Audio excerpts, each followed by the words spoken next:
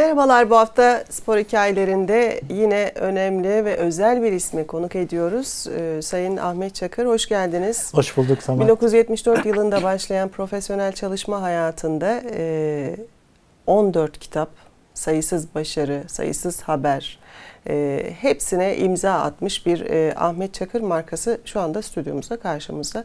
E, biz sizin hayatınızı e, öğrenmek istiyoruz. E, bizimle sohbette paylaşacağınız güzel anılarınızı da dinlemek istiyoruz. Hoş geldiniz öncelikle. Hoş bulduk. Seve seve sunumun biraz terletti yalnız beni. Pek alışkın değilim bu tür iltifatlara. Çok teşekkür ederim.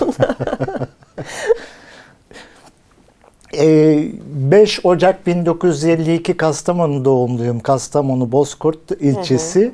Ama o bile problemdi. Çünkü rahmetli annem şey derdi. Yavrum sen mısırlar kırılırken doğdun. Ha biliyorsun o yıllar için. E, mısırların kırılması da işi halletmiyor. Çünkü biraz uzunca bir süreç. Haziran'dan Eylül'e kadar mısırlar kırılıyor. Sonunda yakın zamanda bir arkadaş karar verdi. Eylül olmalı sen dedi Başak Burcu'na benziyorsun dedi. Aha, Öyle bir sonuca vardık. evet. e, 1960'a kadar e, köyde yaşadım. İlkokul 1 ve 2 okudum. 3'te İstanbul'a geldik. Önce Hasköy'de, e, Halıcıoğlu'nda daha doğrusu oturduk 2 yıl. Babam orada bir ortak ev yapımı işine girmişti. E, o evin iskeleti yapıldı. Dört buçuk katlıydı. O zaman bir gökdelen sayılıyordu. Ha, evet. İnsanlar seyretmeye geliyorlardı. Bugün gibi hatırlıyorum. Sonra babam o olayı pek taşıyamadı. Yani ona ağır geldi ortak iş yapmak falan. Ayrıldık Balat'a gittik. 62'den 2009'a kadar Balat'ta evimiz oldu. O yüzden de arkadaşlar bana derler Balatlı diye bir kitap yazdırdılar evet, bana. Evet kitaplara geleceğiz. 14 tane kitap. Evet. Dostun Ölümü. 90 sonun soruda Galatasaray tarihi Fatih'in Aslanları futbolun vatanında Kartal Yuvası'nda 20 yıl, 1997 milli takım Avrupa zirvesinde o bir imparator, milli takım ve Dünya Kupası 100 yılın aslanı, Türk futbolu Avrupa sınavında ben dememiş miydim? Spor gülmece yazıları, Taçlı Kral, Metin Oktay, 108 yılın aslanı Mucizeler Uçağı'yla Paris yolculuğu şahane 14 tane Çok kitap. Çok teşekkür ederim. Ağırlıklı olarak Galatasaray ve milli takım e, evet. yazıları ama bir yandan da edebiyatçı kimliğim var tabii. E, o işte 1982 Akademi Kitabı ve Öykü Ödülünü kazandığımda o e, varlık yayınlarından basıldı 1983'te. 1983 Ağustos'unda Gösteri Edebiyat Dergisi beni yılın en umut veren 5 öykü yazarından biri seçti. Hmm. Ama bugün aradan 40 yıl geçtikten sonra hala aynı noktadayım ve mümkün mümkün olduğu kadar da görünmemeye çalışıyorum. Estağfurullah geliştirmişsiniz zaman 14 e, kitap Gazeteciler ne demek? dönünce iş biraz değişti tabii ama ha. edebiyatçılıkta bir kesinti oldu. Hı hı. Bu bana derler Balat diye biraz da o kesintiyi ortadan kaldırmak amacıyla evet, yazdım açıkçası. Evet şimdi elimde e, evet. Çok e, merak ediyorum. Bugün Söyleyeceğim, anlatacağım. Çok teşekkür ederim. Bir yandan, o, okumak için şey de sabırsızlanıyorum aslında. Bak, bir yandan sırayla gitmek istiyorum. Şöyle yapalım. Ee, bir hayat hikayesini e, atlama zıplama olmadan sürdürmek için. Hı hı. E, 1972'de askere gittim ama öncesinde 67-68 Sultanahmet Ticaret Lisesi'nden terk edip bazı işlerde çalıştım. Hı hı. E, askerlik dönüşü 1974 Ocağı'nda İstanbul Radyosu'na girdim. Hı hı. İstanbul Radyosu hayatımı değiştirdi tepeden tırnağa. Evet 1974 Çünkü... TRT yıllarından başlayacağız az sonra geleceğiz. Bu kitap e, için söyleyeceklerinizi alalım. Kısa bir ara verdikten sonra TRT'ye başlayacağız. Oraya evet. daha geleceğiz. Evet, peki, peki. e, kitapla ilgili olarak kitaplara başlamadan önce bir adım daha var. Onu da söylemek zorundayım. Hı hı. 1980 yılında Cumhuriyet Gazetesi'nin e, Yunus Nadi ödülleri var geleneksel. Dünyada ve Türkiye'de sansür adlı çalışmamla ben hı o yarışmada da ödül kazandım. O basılmadı. Hı. 80 çünkü biliyorsunuz çok hı talihsiz bir yıl hı. Türkiye için. Onun da etkisi vardı. Hatta rahmetli İlhan Selçuk e, niye basılmıyor diye mızırdanmaya kalktığımda Ahmetciğim bu kitap basılırsa yedi buçuk yıl sen yatarsın, yedi buçuk yıl biz ya. Çünkü o yıllarda 141, 142 vardı. E tabi ince elenip sık dokunması Ağzını açtığında zamanda. komünizm oluyordu. Mesela Çetin Altan'ın çok eğlenceli bir yazısı vardır. Ee, şöyle bir Şarlo filmleridir yazının başlığı aklımda kaldığı kadarıyla. Bulgaristan dünya domates ihracatında birincidir diye yazdığı için komünizm propagandasından yargılanıyor. Aa. O kadarla kalmıyor ama komedi. Bir başka noktada da Aziz Nesin komünizm propagandasından yargılanıyor biliyorsun. Hep onların başında öyle. E, Çetin Altan da oraya bilirkişi olarak atanıyor. Yani Aziz Nesin. Bizim memleket aslında çok eğlenceli bir yerdir ama tabii bu azapların içinde olmamak kaydıyla. Ve Bunu yani uzaktan seyredersen çok evet, eğlenceli. evet, ama evet. içinde olduğun zaman çok kötüdür. O hala basılmadı. Geçenlerde Atilla abi gördü, Atilla Gökçe.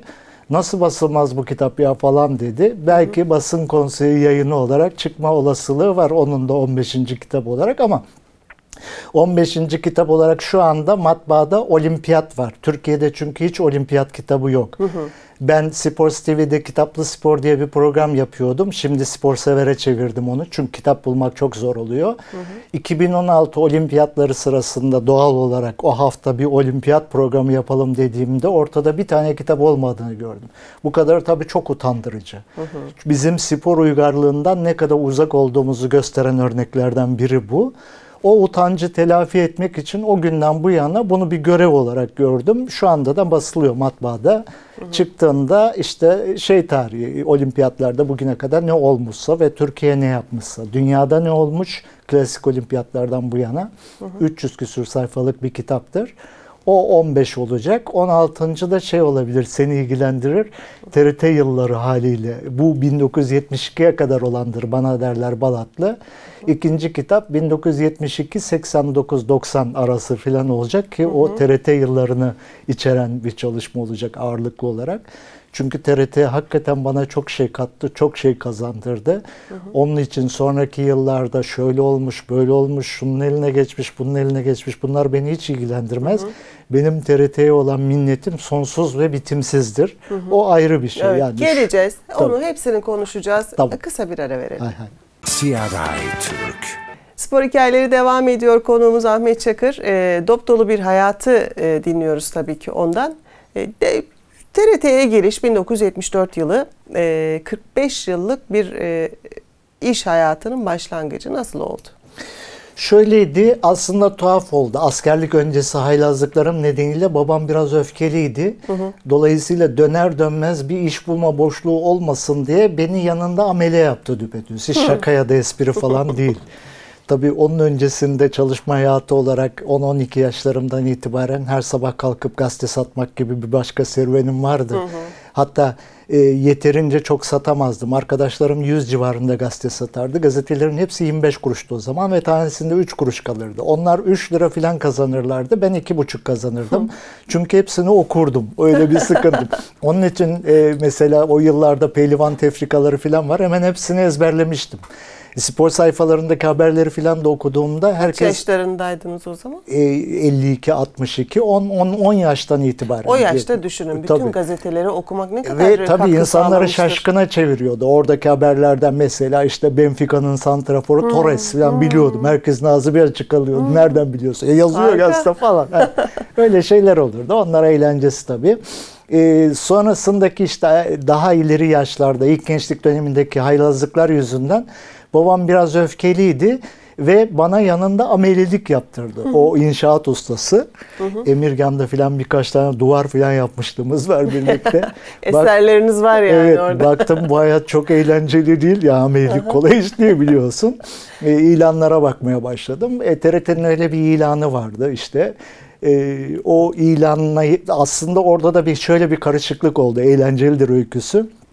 O gün 10 Ekim 1973 peş peşe Bülent Ecevit'in ve Süleyman Demirel'in o dönemdeki e, parti liderleri mitingleri vardı Taksim'de. E, onlara da denk gelen peş peşe günlerdeydi. Ben 10 Ekim'de gittim kaydımı yaptırdım. Sınav günü 11 Ekim'deydi. Fakat e, sınav kağıdına dikkatli bakmamışım. Sınav kağıdında Sultanahmet Ticaret Lisesi yazıyor ama ben herhalde dedim işte terk ettiğim okul ondan yazıyor. Şöyle dalgacı bir bakışım olmuş. Meğersem sınav oradaymış. Ben ertesi sabah sınav diye İstanbul Radyosu'na geldim. Ona 10 kala. Ondan sonra tabii e, onda sınav başlıyor. Sultanahmet'te başlıyor. E, ne yaptın sen falan gibi bir durum oldu. Yine de paniklemedim fazla. Tamam o günün ulaşım olanakları içinde hakikaten yarım saati bulmadan ulaştım. Eski okulumu görmüş olurum Kabul işte. ettiler mi peki? Şöyle oldu söyleyeceğim. kabul kabul kolay olmadı. Bir başka arkadaşın sınava giren arkadaşlardan birinin e, şaryoyu çekerken bir daklio sınavıydı o. Kağıdı yırtılmış. Ondan sonra o ağlıyor. Ondan sonra dediler ki işte onu da ben de gittim o arada söyledim böyle böyle ben dedim yanlış anlamışım bilmem ne. Ee, falan kabul edildi. İkimiz tekrar sınava girdik ve sınavı ikimiz kazandık. Yani o da iyiymiş demek ki. Evet, enteresan. evet öyle hoş. Ondan sonra işte e, işlemlerin tamamlanması filan 28 Ocağı kadar buldu. O şekilde girdim İstanbul Radyosu'na. 79 yılında yayın şefi oldum. E, biliyorsun radyoda öbür kesimde çalışmakla program kesiminde çalışmak arasında Tabii. hem ücret bakımından fark var. Bir de benim talihsizliğim 15. derecenin birinci kademesinden başladım. Ortaokul olmama rağmen. Bir kere öyle oldu. O da o zaman. Sonra hemen düzeltildi. Nasıl? 14'ün ikisinden yani ilk Avantajlı bir durum mu? kötüydü iyi ki. Yani 15'in biri ilkokul mezunu oradan başlıyor. Ben iyi kötü ortaokul mezunuyum. Hatta lise 2'den terkim. Sonra düzeltildi. 14'ün ikisi oldu. E, ortaokulu bitirdim, şey liseyi bitirdim 1978'de. Onun ikisine geldim. Üniversiteyi 82'de bitirdiğimde 5'in ikisine geldim. Yani memuriyet kademelerini biliyorsun. Akıl almaz bir zıplama gösterdim o kadar süre içinde. E, tabii ee, üniversite hayatının eğlenceli tarafları vardı. İstanbul Radyosu'nun hemen karşısındaydı o zaman. Şimdi Marmara Üniversitesi Basın Yayın Yüksekokulu. O zaman Gazetecilik ve Halkla İlişkiler Yüksekokuluydu. Bir hanın işte dördüncü, beşinci katı falan gibi Harbiye'de. garip bir ok- okul düzeniydi. Şimdi hala arkadaşlar merdivenli sohbetler falan diye oralarda nostalji yapıyorlar. Hoş oluyor. Okulu bitirirken de şöyle çok eğlenceli bir olay yaşadım. Daklio'dan sınıfta kaldım. Bütün derslerden geçtim. Zaten hocalarımın çoğu da arkadaşlarımdı İstanbul Radyosu'ndan. Benim Daklio'dan sınıfta kalmam e, yani Hüseyin Bolt'un e, beden eğitiminden sınıfta kalması gibi bir şey. Hakikaten öyle. Yani abartılı bir değerlendirme gibi görebilir. Çünkü ben en iyi yazabilen arkadaştan 5 kat daha iyi yazıyordum. Neden peki E, Çünkü sınıfta e? Sultanahmet Ticaret Lisesi ve Beyoğlu Ticaret Lisesi oralarda 10 parmak daktilo. Arkadaşlar tuşları ararken diyelim ki o 5 satır yazabiliyorsa sınav sırasında ben 50 satır yazabiliyorum. O kadar iyiydim. Onun için bolt benzetmesi yapıyorum. Şu oldu. Benim de o e, TRT'de sınava girerken hanım arkadaşım başına gelen olay benim de başıma geldi. Biraz tabii küçümseme durumu falan da vardı yani çok iyi olduğumdan. En son e, ben girdim sınava sıraya falan. Orada bana kötü daktilo kaldı. O da benim kağıdımı Aa. yırttı. Hoca da bozuk çaldı. Yani tavırlarımdan falan hoşlanmadı muhtemelen. Konuşma be falan dedi ve ben sınıfta kaldım. Daktilodan sınıfta. Şimdi Yani rahatlıktan tavşanın kaplumbağaya yenilmesi ya gibi. hiç sorma ama durum da çok vahim. Biliyorsun devlet memuriyetinde onun ikisinden beşin ikisine gelmek arasında dağla deniz arasındaki kadar fark Evet, var. evet. Çok büyük. Diyelim ki 2000 lira alıyorsam 3000 lira almaya başlayacağım falan. O kadar büyük fark var. Ondan sonra okula da gidip geliyorum. Müdür yardımcısı beyefendi seviyor beni. Vallahi Ahmetciğim dedi. "E, hoca dedi şeye gitti. Balıkesir'in bir dağında bir yerde onun uydurma ve çiftlik gibi bir yeri var dedi. Hiçbir şekilde ulaşılamaz dedi. O böyledir dedi. Yani iki ay bekleyeceğiz dedi. Hocam yapma elini öpeyim, ayağını öpeyim. Ben gideyim Balıkesir'e görüşeyim hocayla. Va sen bilirsin dedi. İstiyorsan git ama bir yandan da günler geçiyor işte. Neyse. En son ziyaretine gittiğimde hoca bana gerçekten unutulmaz bir şey söyledi. Yani inanılmaz bir şey söyledi. Şimdi izleyenler, dinleyenler çok şaşıracaklar. Ya Ahmetciğim dedi bu o kadar büyütülecek bir iş dedi, değil dedi. Hallederiz dedi. Sen dedi gelecek yıl dedi okulda dedi daktilo hocası olur musun dedi. evet. Bunu daktilodan sınıfta kalmış biri de söylüyor. Ama tabii ki Demek biliyor ki yani. işte Hüseyin tabii. Bolt olduğumu biliyor orada. Sen dedi daktilo hocası olur musun dedi. Ne diyeceğimi şaşırdım tabii. Kilitlendim kaldım. Neyse hoca geldi şeyden işte geçer not verdi. Tekrar bir şeye girmedim tabii. Girmeme gerek yok. Durumum ortada. E, bitirdik okulu. Hoş oldu tabii. Yani öyle bir dert yaşamıştık. Çok güzel bir anıyla e, e, bu kısmı, bu bölümü noktalayalım. Hay hay. Biraz sonra yine birlikteyiz. Tamam. CRI Türk. Spor hikayeleri devam ediyor. Ahmet Çakır konuğumuz. Tabii e, meslek büyüğümüzde e, 45 yılda TRT'ye giriş, aynı zamanda üniversite e, bir taraftan gazete çalışma hayatı başladı mı? Şöyle oldu. İşte söylediğim gibi bir- belli bir süre sonra TRT beni gezdirmeye başladı. Önce Trabzon Radyosu. Trabzon Radyosu gitmekten dolayı yüksünmedim ama orada mesela yayın şefliği görevi yoktu. Dolayısıyla bu atama dürüst ve geçerli bir atama değil. Hatta Danıştay'dan döndü. Ama ben arkasını fazla aramadım. Tekrar İstanbul'a 3 yıl döndükten sonra bir daha tayinim çıktı. Danıştay'dan nihai karar aleyhime çıkmış. Akıl alır gibi değil ama ne yapayım? E, yüksünmedim yani gittim. Trabzon'da olmak kötü değildi benim için. Orada çünkü bir yandan futbol dünyası falan filan vardı. O insanlarla ilişkilerim iyiydi. Başka Özkan Sümer olmak üzere. E, e, ama orada da sorunlar başladı. Mesela tiyatroyla ilgim vardı. Gazetelerde tiyatro yazıları falan yazıyordum. Trabzon'a gelenlerle ilgili. Bunun üzerine e, Karadeniz Üniversitesi beni tiyatro hocası olarak istedi.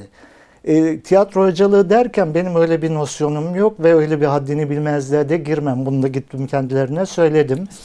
Dediler ki yani hocalık falan yapmayacaksın. Burada bulunacaksın. Çocuklar dediler şu anda oyun hazırlıyor Keşanlı Ali Destanı. Senin şeklen orada bulunman lazım. imza atman lazım falan. Hocalarıyla birlikte hazırladılar. Vallahi dedim büyük onur duyarım yani böyle bir şey. Tamam ama öteki türlü hocam hoca öyle bir nosyonum yok benim. Sonra bununla ilgili olarak TRT'den izin istenme durumu oldu. TRT buna izin vermedi. Oysa her şey çok açık şekilde belirtmişti. Haftada 3 gün gelecek. Saat 7 ile 10 arasında çalışacak. Akşam 19 ile 22 arasında ya onu kastediyor. E benim TRT'deki mesaim işte neyse 9-6 arası falan. İzin verilmedi. Bu kasıtlı tavır. İzin verilmediği yetmiyormuş gibi arkasından Erzurum'a tayinim çıktı. Erzurum'a gittim. He. Erzurum'da şey yok, yayın şefliği yok. Yani mümkün değil biliyorsun. Yayın şefliği üç büyük radyoda ancak. Öteki radyolarda mümkün değil. Baktım ki TRT ile bağımız koptu. E, ondan sonra yazılı basına geçme durumu oldu. İlk gazetem Günaydın'dı. Günaydın'a şöyle girdim. Bir ilan gördüm gazetede. iş arıyorum. Geldim İstanbul'a artık. O günlerde Hıncal abi bana yardımcı oluyordu. Aramızda bağ vardı. Ben Sporla buluşmanız bu anlamda iş anlamında e, bu zamana mı Bu noktada başladı denilebilir. Ben Trabzon'dayken e, Hıncal abiye mektuplar yazıyordum. Yani onu çok beğendiğim için Cumhuriyet'teki yazıları falan diye. Hıncal abi de bir yazısında beni çok övdü. Yani 3-5 ay sonra Trabzon'da Ahmet Çakır diye bir dostum var. Şu anda spor yazarı geçenenlerin %90'ından daha iyi yazılar yazıyor bana. Hiçbir yazı bir yerde yayınlanmıyor. Bir amacı yok ama yolluyorum ona. Bu hafta işte böyle oynadı Trabzon falan. Onun da hoşuna gidiyor. Beni destekliyor. Sonrasında döndüğümde Cumhuriyet'e başlatma yardımında bulundu bana. Pek sonuç çıkmadı ondan. Cumhuriyet çünkü Ankara'ya gitmemi istedi. Ben de işte İstanbul'da evim var. İşte Trabzon, Erzurum hala uğraşacak halim yok ona. Neyse böyle bir durum. Gazetede bir ilan gördüm. Posta kutusu 80 şişli spor yazarları aranıyor diye. Allah Allah. O yıllarda bütün spor basını şu bu baba halde. Dolayısıyla posta kutusu 80 şişlilik adam ne yapmak istiyor? Herhalde dedim birinin biraz batırılacak parası var. Onunla ilgili iyi. Biz de dedim orada birkaç ay çalışırız her neyse diye. Çünkü sonra yalnız ilanda çok zekice bir şey vardı. Özgeçmişinizi bir 100 sözcükle yazın bir de 150 sözcükle yazın diyordu. Dedim bu akıllı bir adam. Yani ne istediğini Allah biliyor. Allah. E, Ne istediğini İki biliyor. ayrı özgeçmiş He. istiyor. Birini Evet. 100 sözcük. Birini 150 sözcükle. Ben de ona bir numara yaptım karşılık olarak. Evde daktilo vardı. Bir 100 sözcüklük yazdım. Bir de devam eden 50 sözcüklük yazdım. Bunu dedim evde dedim aletler yok gerekli. Belinden bantlayıp bir fotokopisini çekerseniz elinizde hem 100 sözcüklük olur hem 150 sözcük. Ama bu yüzden de kazanacağımı biliyordum. Yani onun zekasına bu şekilde karşılık vermeye çalıştım. Aradan birkaç gün geçti. Bir gün geldiğimde kapıda yapıştırılmış bir şey gördüm. Eski telex şeyleri vardır telgrafta kırmızı harflerle falan yetişmişindir sen. Ee, pazar şey cuma günü 11 pazartesi gün cuma günü geldi. 11'de Günaydın gazetesinde mülakata bekleniyorsunuz. Ah günaydın. evet, gazetesi. günaydınmış o. Haldun Simavi'ymiş o ilanı veren. Gerçekten de zekice. E, evet. Yani.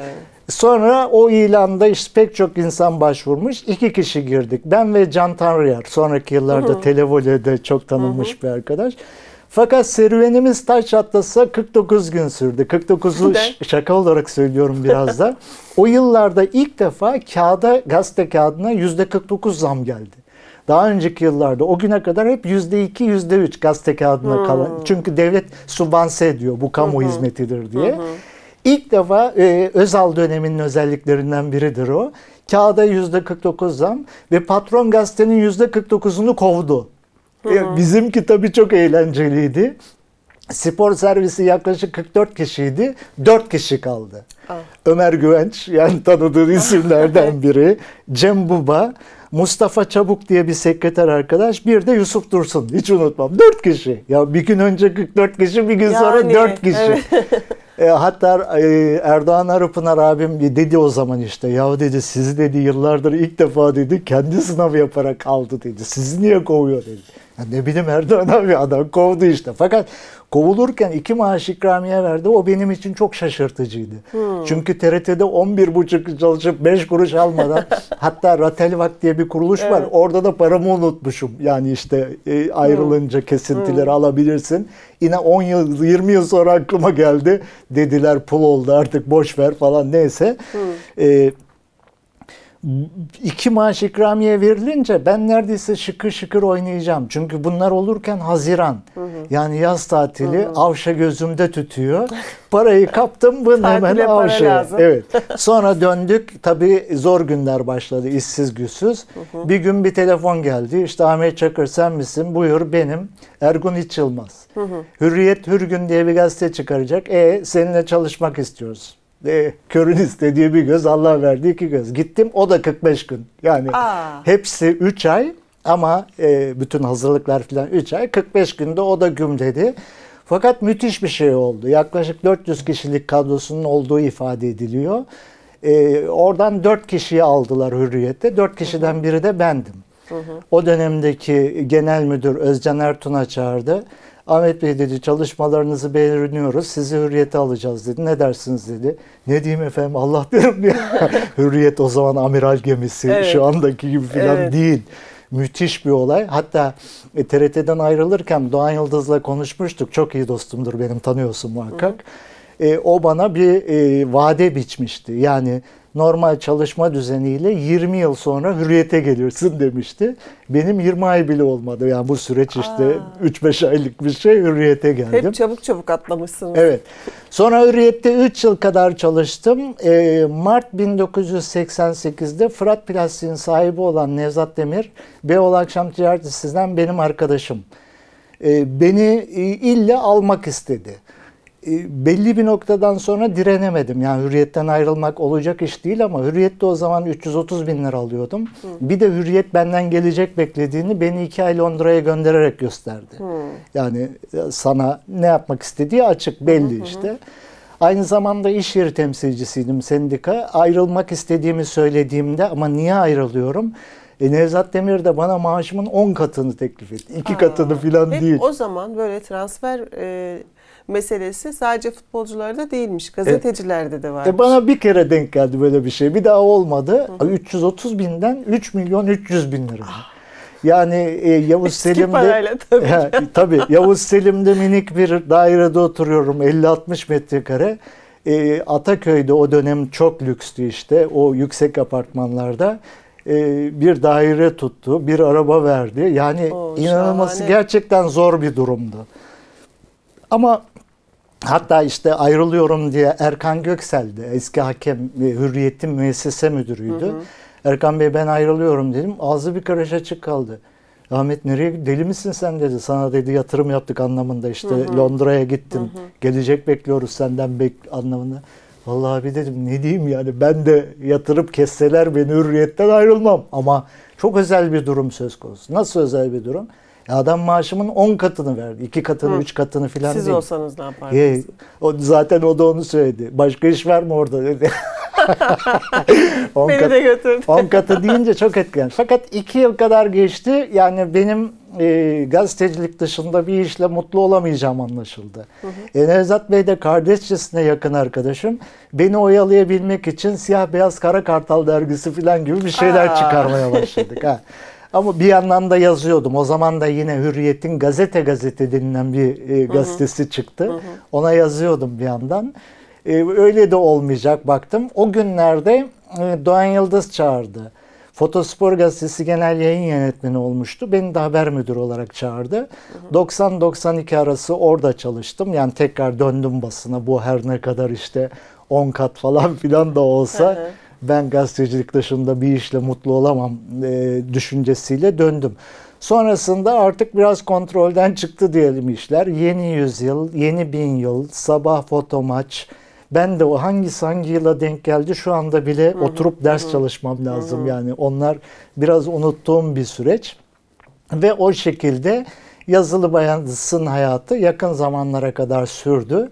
Son dönemlerdeki sıkışma nedeniyle işte e, o yönden bir işsizlik söz konusu ama ben e, işsiz kalacak yapıda bir insan değilim. Evet. Yani kendi yazı çizi çalışmalarımın dışında Sports TV'de Spor Sever diye bir programım Oraya var. geleceğiz. Evet. Yine bir kısa ara Tabii. veriyoruz. Az sonra birlikteyiz. CRI Türk. Spor hikayelerinde konuğumuz sevgili Ahmet Çakır. Ee, en son gazetelerden sonra beyaz cam renkli ekran. Beyaz cam daha önce de vardı açıkçası. Yani işte e, belli bir noktaya gelince gazetecilikte e, o yıllarda biliyorsun çok e, parça başı denilebilecek yahut program yapma denilebilecek. Hatta pek çoğunu unutmuşum. Mesela Mehmet Demirkol'la ilk programı biz onunla yapmışız. E, bir hatırlayanlar oluyor. Abi o Mehmet Demirkol'la yaptığınız programların tadını hala unutmadım diyen arkadaşlar oluyor. Ben unutmuştum vallahi. O zaman da S Sport diye bir kanal vardı. İlhan Uzundurakan arkadaşım genel yayın yönetmeniydi. Şu anda da işte orada yine Sports TV şu andaki adı. Hatta S kan S kanalıyla karıştırılıyor zaman zaman. Orada 3 yıl Kitaplı Spor diye bir program yaptım. Fakat son zamanlarda kitap bulmak zor olduğundan her hafta bir konukla yapmaya çalışıyorum. Spor severe çevirdik. Yani kitap dışı konularda da olsun diye.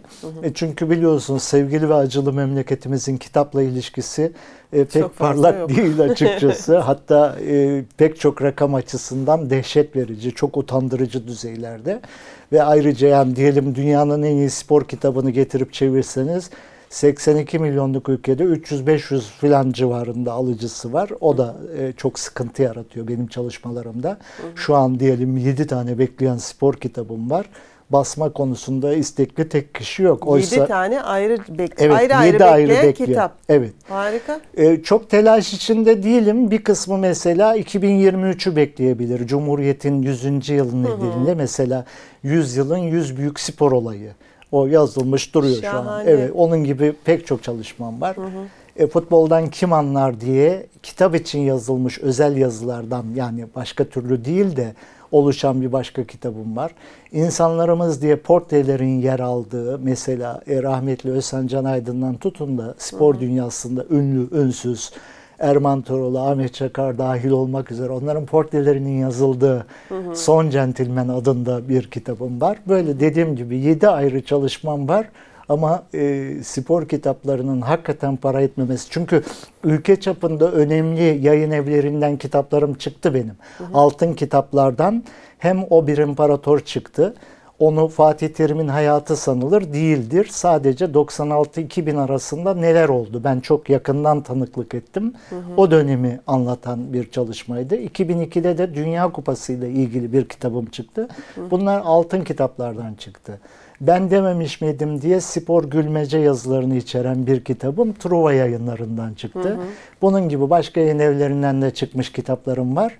Ama e, işte spor kitaplarının satışının sorunlu olması yüzünden e, onlar biraz beklemede.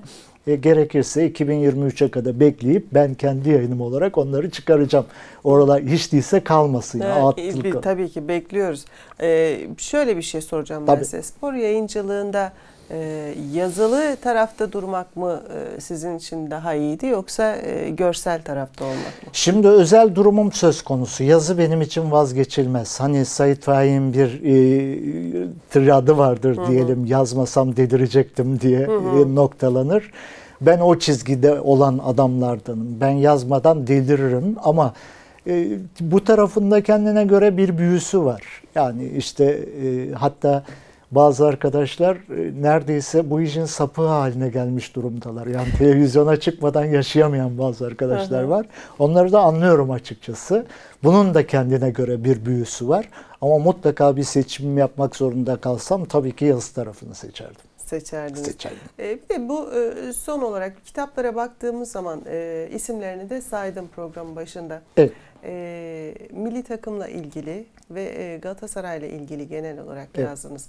E, kitap yazacak kadar ve bu kadar çok kitap yazacak kadar doneyi e, elde etmek için çok çok içlerinde ve yakın olmanız gerekiyordu. E, hem işle hem e, onu nasıl bir arada böyle bir sıkı görüyorsunuz? Samat o öyleydi. Yani hakikaten içlerindeydim. Bir de milli takım kitaplarında görevci bir anlayış vardır. Şu 1996'da mesela Türkiye ilk defa Avrupa Şampiyonası'na finallere katılıyor. Şimdi söyleyeceğim şeyi spor yazarlarının %99'u bilmiyor. Defalarca söylememe karşın. Hatta bizzat o başarıyı kazanan hoca bile bilmiyor. Ne o biliyor musun?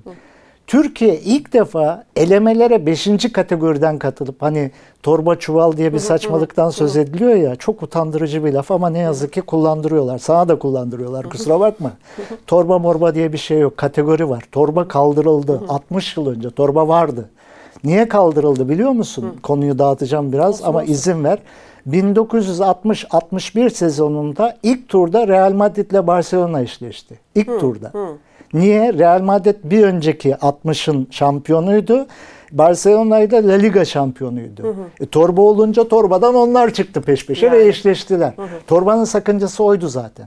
Yani başka bir elemede de diyelim ki Milan'la e, efendim işte Paris Saint Germain eşleşiyor yahut o dönemin en güçlü takımı eşleşiyor. Ama öbür taraftan Arnavutluğun Tiran'ıyla Lüksemburg'un Junes Değiş'e eşleşiyor. Peki o zaman ne oluyor? Ya Tiran ya Junes Değiş ikinci tura çıkarken ya Real Madrid ya Milan ikinci tura çıkamıyor. O zaman torba kaldırıldı. Neyse onu bir bırakalım. Anlatmak çok zor. Abi bu arada bir küçücük bir parantez açayım. O zaman böyle e, gördüğünüz yanlışları da bir kitapta toplayıverin. Yapmış. Var böyle bir kitap var. Ee, Kadir Has Üniversitesi'nde e, öğretmenlik fazla geliyor. Ben öyle laflardan hoşlanmıyorum. E, sertifika programı e, uygulamaları var. Orada e, haberle ilgili bir programa girdim. E, dil yanlışları şu 60-70 sayfa kadar hazır arkadaşlara dağıtıyordum zaten. Baş edilecek gibi değil. Mesela yenilgi aldı diyor. Herkes kullanıyor. Yenilgi aldı demek ben delirdim demektir. Yenilgi alınmaz. Yenilmek kaybetmektir. Kaybetmeye almak dediğim gibi ben aklımı oynattım demek. Ama herkes kullandığı için doğrusu buymuş Evet. gibi görünüyor Kapalı spor salonu mesela. falan. Yenilgiye zaten uğrarsın. kapalı, Bak kapalı Türkçe bütün kavramları karşılayamıyor. Karşılayamaz da. Yani futbola ne karşılık vereceksin? Ayak topu desen kimse kulak asmaz. Denmiş de zaten. Oturmuş Ya offside'a ne karşılık verecek? Benim onlara bir itirazım yok. Onlar tamam. Ama bu kavramlarda Türkçe karşılıklar bulunmuş. Galibiyet alınır. Alınır. Berabere kalınır. Yenilgiye uğranılır. Evet. Arkadaşlar yayınlarda hepsini toptan söylüyorlar. 5 galibiyet, 3 beraberlik, 2 yenilgi aldı. Orada fıslıyorsun. Yenilgi alamazsın. Yenilgi almak ben delirdim demektir. Neyse kaçırmayalım onu. 1996'daki kitapta biz gruba 5. kategoriden girip de finallere gidebilen ilk ve tek takımız. Avrupa'da. Bizim Avrupa'da biliyorsun öyle söz edilmeye değer bir başarımız yok. Ama bu kendi çapımızda çok önemli bir olay. Bunu hocaya bile, Fatih Hoca'ya bile defalarca anlatamadım.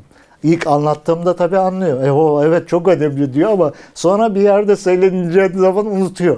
Ve o da torba diyor falan. Torbadan hayır kimse torbadan çuvaldan falan çıkmıyor. Sonra devam edelim. 2000'de yine Avrupa Şampiyonası'na katıldık biliyorsun.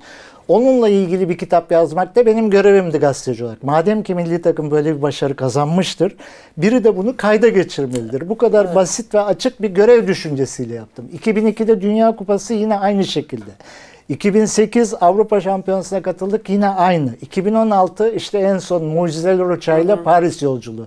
Çünkü biliyorsun son maç öncesinde bir yığın olasılık vardı ve bir yığın olasılığın hatta o olasılıkları değişik şekilde hazır şeyden hesaplayan arkadaşlar 10 binde bilmem 18 filan gibi akıl almaz noktalara ulaştılar. Yani bizim e, o. Selçuk'un o golü atıp da gitmemiz 10 binli 18 filan gibi bir hesaptı. Sonra arada edebiyat çalışmaları. İlk kitabım zaten işte Varlık Yayınlarından Dostun Ölümüydü. Ee, sonrasında işte bu da bir edebiyat çalışması. Arada spor, mizah falan gibi çalışmalar Ama genel bu olarak şekilde. da e, bir tarihçi titizliğiyle e, hazırlamışsınız, yazmışsınız kitapları. Öyle yaptım. Belge Elimden geleni yaptım. diye. Elimden Çok da iyi etmişsiniz. Evet. E, aslında sizin e, bu 45 yıllık e, meslekteki e, geçirdiğiniz seneleri bir programa sığdırmak mümkün değil. Ama biz süremizin sonuna geldik. E, daha çok konuşacak konu var eminim. E, daha sonraki programlarda eğer e, lütfeder de gelirseniz e, tekrar Seve seve, yine koşa konuşmaya koşa. devam ederiz. Ama ucundan ucundan hepsinden bir anlatmaya çalıştık. Çok teşekkür ederiz geldiğiniz Ben için. teşekkür ederim. Zevk duydum. Eksik olma. Bu hafta da konuğumuz sevgili e, meslek büyüğümüz Ahmet Çakır'dı. Kendisine teşekkür ediyoruz. Haftaya tekrar birlikte olmak üzere. Hoşçakalın. CRI Türk